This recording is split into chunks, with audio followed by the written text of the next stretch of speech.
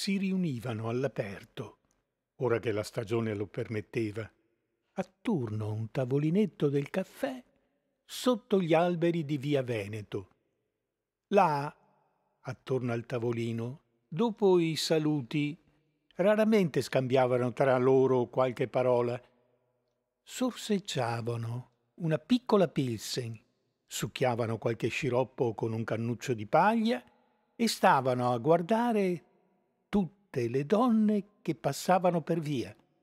sole, a coppie o accompagnate dai mariti, spose, giovinette, giovani madri coi loro bambini e quelle che scendevano dalla tranvia dirette a Villa Borghese e quelle che ne tornavano in carrozza e le forestiere che entravano al grande albergo di rimpetto e ne uscivano a piedi, in automobile. Non staccavano gli occhi da una che per attaccarli subito a un'altra e la seguivano con lo sguardo, studiandone ogni mossa e fissandone qualche tratto, il seno, i fianchi, la gola, le rosee braccia trasparenti dai merletti delle maniche, storditi,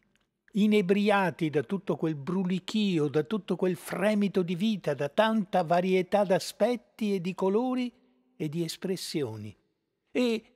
tenuti in un'ansia angosciosa di confusi sentimenti e pensieri e rimpianti e desideri, ora per uno sguardo fuggevole, ora per un sorriso lieve di compiacenza che riuscivano a cogliere da questa o da quella, tra il frastuono delle vetture e il passaraio fitto, continuo, che veniva dalle prossime ville.